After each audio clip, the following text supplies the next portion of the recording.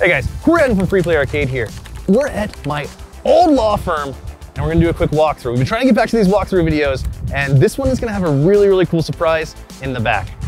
It feels like a lifetime ago, but just a few years ago, I was spending every single day here at my law firm. Uh, and there's a very specific reason we picked up this building and it has to do with what we can have access to in the back. So yeah, here it is, hiding, hiding, solving problems.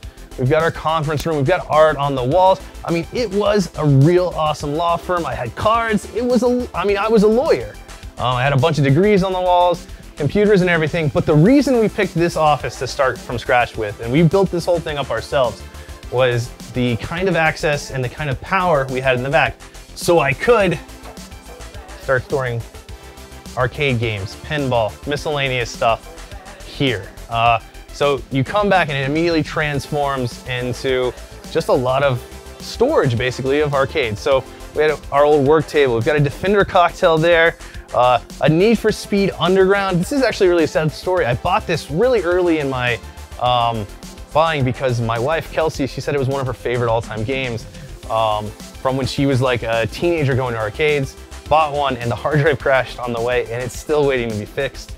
Uh, then we've got some of the pinball you've seen Tee'd Off, one of my favorites, uh, Twilight Zone, one of everyone's favorites, a Whirlwind, we've got an F-14 Tomcat, a Terminator 2, that hilarious Spring Break. Uh, a sad story about the Spring Break, we had it out, uh, playing awesome, really, really goofy pin, and it just, it went down on us and we haven't had time to get to it yet.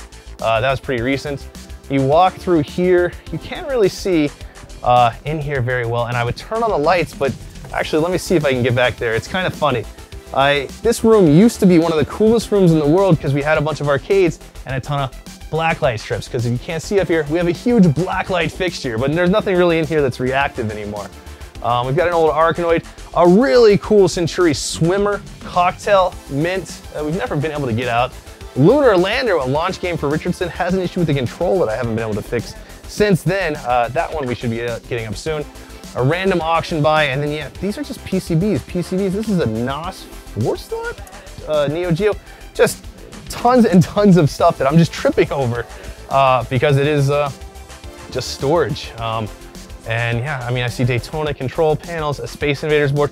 Right here, uh, if you zoom or if you look down, we've got back glasses um, and uh, bezels for probably 50 or 60 games that we got it as a lot purchase. Uh, here we have the original Super Mario Brothers pinball that was at uh, Richardson. Uh, it's almost back, ready to go. It's just been taking a lot of work. Um, one of our Slugfests is our Slugfest parts cab, um, which we don't even have a Slugfest out anymore, uh, which you'll see the other one soon. The Pinbot that we had out at Richardson, uh, the Funhouse that is now just, just about ready to go back. The Cyclone, this is actually one of my favorite pins, and I don't even know if it has problems. It's not ever super popular, but I love this pinball. Uh, another Twilight Zone just for fun. We should have one or two out pretty soon. Another T2. Uh, we ended up with two on accident. Uh, we never really intended, but I do think uh, it's an all-time great that we need to get out. Uh, a Time Crisis 3 just hanging out here. There's a Time Crisis 2 topper. This looks like a final lap seat. I don't know where it came from. Uh, Williams Pharaoh that I bought on a lark. Um, because I love MagnaSave games, and this was, you know, Black Knight has a top playfield and a MagnaSave. Pharaoh was kind of the other one. I, in some days I like Pharaoh more. It's in a little rough shape. I don't know if we'll ever get it. A Bally Centaur, one of the coolest art, like art piece slash pinballs that was ever made. Uh, Rocky and Bullwinkle, which has really been climbing the charts lately. I always thought it was really great. It's got a lot going on. Um, and we need to get it back out. Another Star Trek Next Generation. This one's in really good shape. This is an all original Star Trek Next Generation that we found um, that was almost entirely home use only throughout its life. We need to do some work. It probably, it looks like the screen's going a little bit on it. It has all those original bulbs. Uh, this is the Slugfest, still works, still great. Um, we bought some awesome pieces for it. Uh, the truth is it just wasn't as popular as a regular pinball. I think it's really cool and we used to love giving away those cards. And maybe you'll see it pop up in Fort Worth. All right, here is a Jersey Jack Wizard of Oz. Uh, kind of hard to see. I can't remember if that's Yellow Brick Road or not. This was one of the very first um, pinballs I bought. Really terrible, but it's the, you know, something's got to start the addiction. Special Force. Um, and if you look, there's a European alternate uh, backglass that they made for this that randomly had a woman in a bikini. It's actually when you're playing it, it's pretty uh, pretty absurd as it is because it's really making kind of a farce on the war. Like you're just dropping napalm on people in a pinball for no reason. Of the 2, one of them. Oh, here's a rare game that's just buried in parts that makes me feel sad.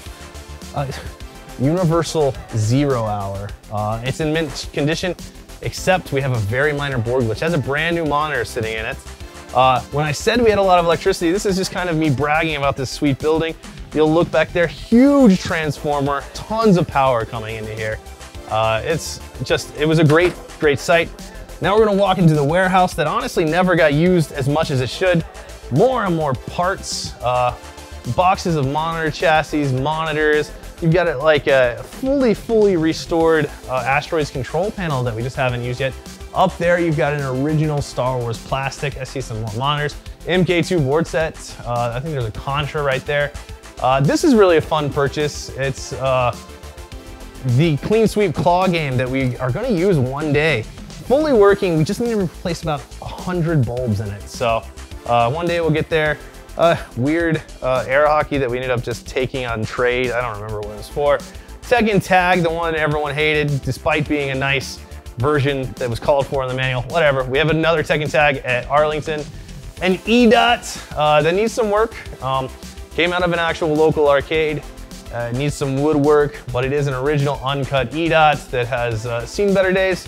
One day we'll get around to restoring it, but I mean, there's some monitors over there. It's We don't even come here anymore, and it, it's depressing me the more I walk through it.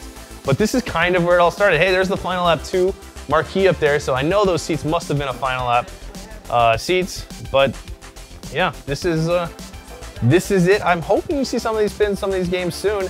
Um, but as you, you might kind of realize now why I picked this location for our law firm. Uh, I, I, think it was an old uh, manufacturing firm for like a high-tech company. And uh, we turned it into this, and this is just part of our collection. And you might see some other stuff that you've seen in other walkthroughs here. Uh, We've been doing these walkthroughs off and on for months and months and months, and we have to move equipment constantly. So if you see something that you've seen in another walkthrough, it's probably not a duplicate. It is probably just been moved, and we're gonna try to keep doing walkthroughs uh, more often so you can kind of see things shifting around. But for now, that is my law firm uh, slash arcade storage warehouse. Uh, and stay subscribed, stay watching, and check us out on the next one.